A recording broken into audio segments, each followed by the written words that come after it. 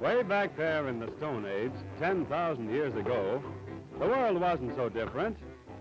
Newsboys delivered the morning paper, much as they do now. But they did it the hard way. And as usual, Mrs. Caveman got the paper first. And when a sale was advertised, the cave wife would utter that familiar cry, Whee! A sale! much to the annoyance of her husband. Oh. Henry, you're going shopping with me, do you hear? No, I'm not. I hate shopping. I hate stores. I hate crowds. I hate to go anywhere. I said you're going shopping with me. The missus always won. Then they were willing to bury the hatchet. But they buried a club instead. And the hmm. lady loved it. Simple, wasn't it?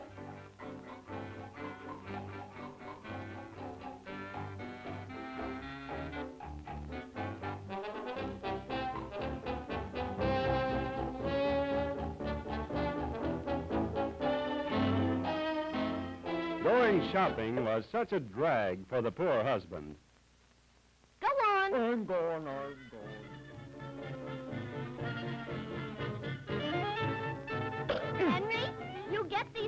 and meet me here. Yes, they used their heads in those days. Look this way, folks. I shall demonstrate our latest model. and they even had those.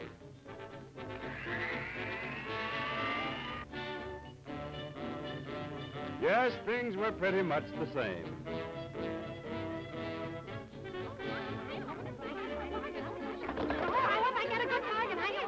Women shoppers were just as considerate. This form-fitting garment is styled to please the most vivacious female. Not the enchantment it lends to the figure. It adds an air of sophistication to the most petite and demure madame. And this model will glorify your charms. Note the youthful lines, the puffy sleeves, the fluffy cuff, the duffy blouse. Huh? Oh, pardon me. Even the spots before your eyes give grace to the form and follow the contour of the body right down to the extreme end. Waffle irons sold like hotcakes.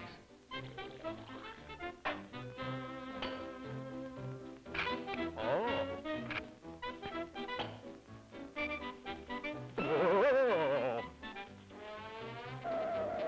They had their firefighting apparatus, even though it was only a trunk line.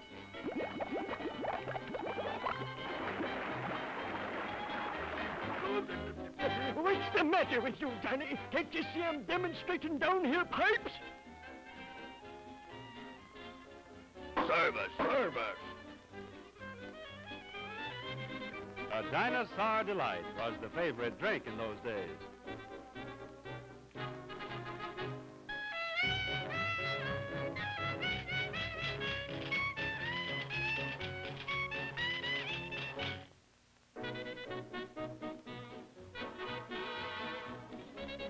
And their shopping bags.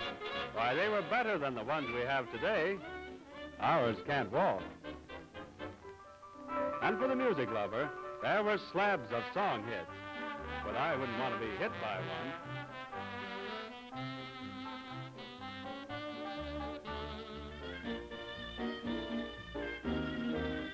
Let Your Hair Down was number one on the rock pile. Play this one, please. Okay.